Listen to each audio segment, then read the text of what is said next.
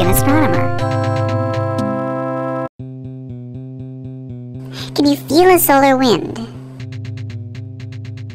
Our star, the Sun, is the source of light and heat for us here on Earth, but it has other more subtle effects as well.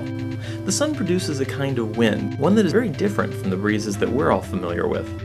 Unlike winds on Earth, which are circulating air currents, the solar wind starts in the outer layers of the Sun, there the temperatures are so high that the hydrogen gas atoms are broken up into electrons and protons.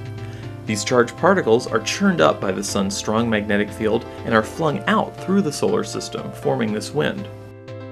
Occasional outbursts on the surface of the sun, like this solar flare, greatly increase the strength of the solar wind. So, can we ever feel this wind? Well, down here it turns out we're very well protected. Long before the solar wind ever reaches the ground, it's deflected by the Earth's magnetic field. Some of the charged solar wind particles can make it through near the poles, but are stopped by the atmosphere, producing beautiful nighttime displays of aurora.